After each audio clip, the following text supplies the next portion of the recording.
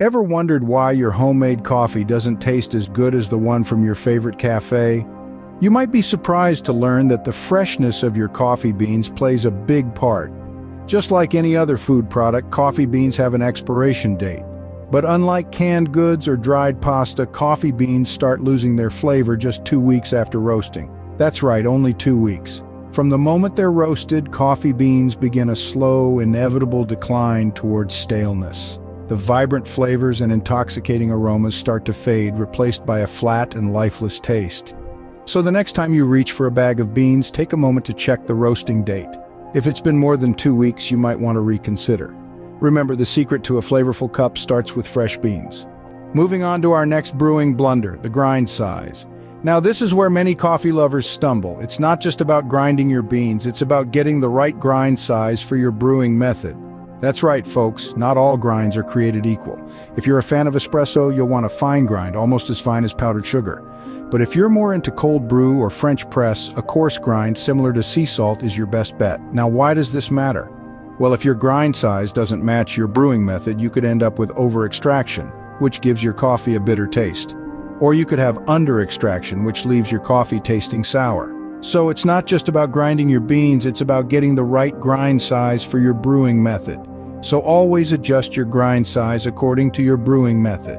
Now let's talk about the role of water in your coffee. You might be surprised to learn that water isn't just a passive player in your brew. In fact, it's a crucial ingredient that can greatly affect the taste of your coffee. Using filtered or spring water can make a world of difference, enhancing the flavor notes of your beans. On the other hand, tap water, especially if it's high in minerals or chlorine, can leave your coffee tasting off. But it's not just about the quality of your water. The coffee-to-water ratio is another critical factor. Too much water and your coffee could end up tasting weak and watery.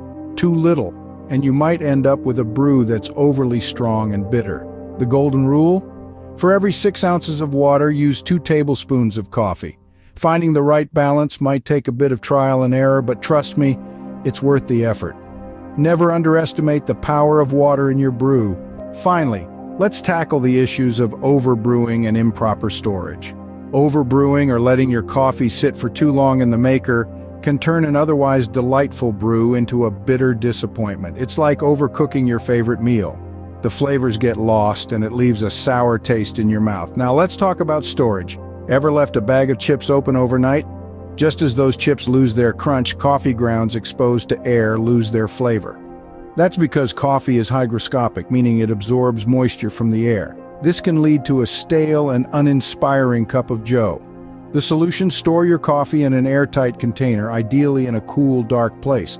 By avoiding overbrewing and ensuring proper storage, you'll maintain your coffee's freshness and flavor. Avoid these brewing blunders and you're one step closer to the perfect cup of coffee.